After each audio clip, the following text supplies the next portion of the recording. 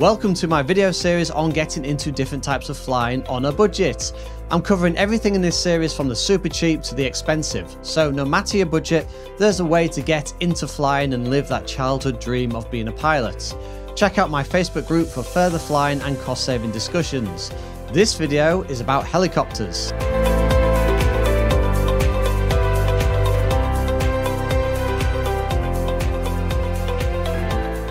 Helicopters, what is it? Well, it's a spinny thing capable of vertical takeoff and landing, and capable of draining your bank account.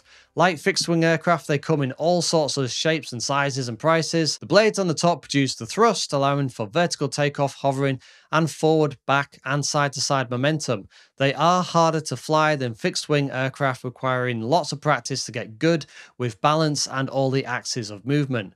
Training in the UK and Europe will need a minimum of 45 hours to get a PPL-H. If you have an aircraft pilot's license, you can convert with 5 hours and a cross-country flight, but I bet it takes you a bit longer to get used to it. In the USA, you'll need 40 hours practical and 35 hours of ground schooling.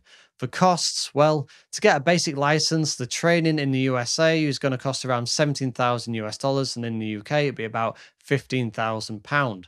However, it could be quite a bit more if it takes you longer to get the hang of it. It costs about $300 per hour for lessons, and I think that's kind of similar in the UK as well. Then there's the instrument rating, commercial, ATP ratings, etc. if you want to get those as well. Helicopters are notoriously expensive. You can get a used one for around 100 to 200,000 US dollars, but the prices will go into the millions. Maintenance is very high with helicopters, many major parts having a finite lifespan, meaning you have to replace them when they've done a certain amount of hours.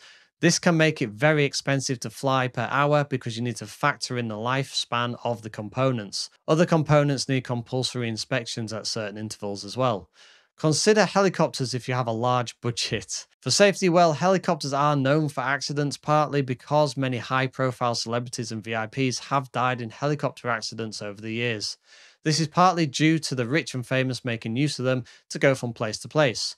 Should the engine cut out at low level, the pilot has very little time to get the blades into auto rotation and to pick a spot to land. Also, the helicopter may not have much time to get into a glide. The crash rate for helicopters is 9.84 per 100,000 hours, which is about 35% more accidents than fixed wing aircraft.